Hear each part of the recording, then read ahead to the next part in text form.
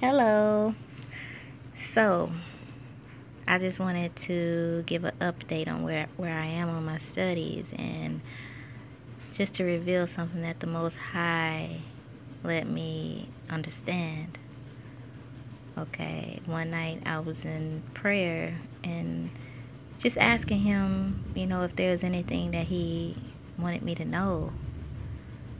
Seeking the Spirit because you know, it's been like a lot of things altered in the Bible and you know, just going directly to the spirit.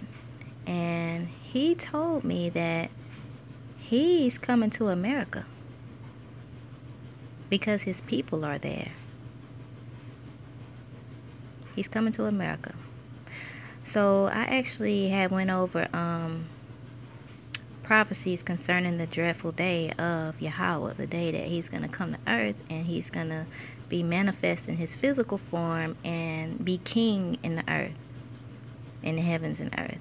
So, like, when he said that he was coming to America, you know, I was trying to figure out, like, what was he trying to say, you know, because, like, I've been seeing videos saying that America is the real uh, promised land and things like that the real Jerusalem and things. And so I was trying to figure out if he was trying to say that or if he was just saying that, you know, he was just coming to free his people or something. And actually, before I began my research, I came across a, a picture online that showed uh, it was speaking about Nat Turner. It was like a sign, and it said that um, it said Jerusalem, Virginia. So, come to find out, America did have a, Jer- have a Jerusalem at one point, and Jerusalem was changed to Courtland by English colonists in 1886. So, America did have a Jerusalem. And um, in those areas, um, in uh, Jerusalem, Virginia, now known as Courtland, there are valleys. You have the Shenandoah Valleys, you have uh, the Mount of Olives over there. You have waterfalls, caves. There was even a, there's a, even a cave that was known as um, Solomon's Cave, which is now Cudjo's Cave, but it was once called Solomon's Cave, and it's just so much. Uh, uh, North Carolina has the uh, palm trees, which remind me of uh, the the verse that mentioned the city of palm trees, and it's just so I'm, i was trying to figure out if he was uh, saying that you know this like confirming that this was the original or which Jerusalem he was coming to. Because when you read Zechariah chapter 14 verse 4 it says and his feet shall stand in that day upon the mount of olives which is before Jerusalem on the east and the Mount of Olives shall cleave in the midst thereof toward the east and toward the west, and there shall be a, a very great valley, and half of the mountain shall remove toward the north, and half of it toward the south. And ye shall flee to the valley of the mountains, for the valley of the mountains shall reach unto Azal. Yeah, ye shall flee like as ye fled from before the earthquake in the days of Uzziah, king of Judah. And Yahweh my God shall come, and all the saints with thee. So you have the Mount of Olives, which you have a Mount of Olives Trail. That is in Virginia. Okay, and then the Shenandoah Valleys.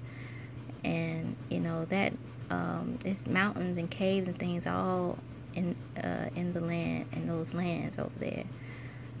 So it was, I guess, him letting me understand which Jerusalem he was going to, which uh, Mount of Olives he was going to, because when you look at those lands over there on Google Earth, it's all green. It's all green. It looks like it could be a wilderness, which wilderness in the Bible is is a place of safety you know, like uh, the woods, the wilderness. So that's what it looked like. But when you look at Mount of Olives over there, you know, it's a city, you know, it's buildings and things like that. It don't look much like where you can hide, honestly, to me. So if he say that flee into the valleys, you know, to me, it looked like it would be uh, the Jerusalem and Mount Olives of America. So, yeah, it's it's when you research uh, those that those uh, states over there, like Virginia is known as the mother of states because of the wealth of the land, the uh, agriculture, the it's um, the Shenandoah valleys itself uh, uh, themselves are um, underlined in limestone and things like that. It's just a rich, rich, rich land. And the 2010 census, it said it only had like 1,200 something people that was living there. And um, even looking, even looking at the area on Google Earth, you know, it's mansions and things up up in that area, mansions and and um, yeah. So I think it was, you know, which one. And he says people, his people are in America, and and this is where he's coming. So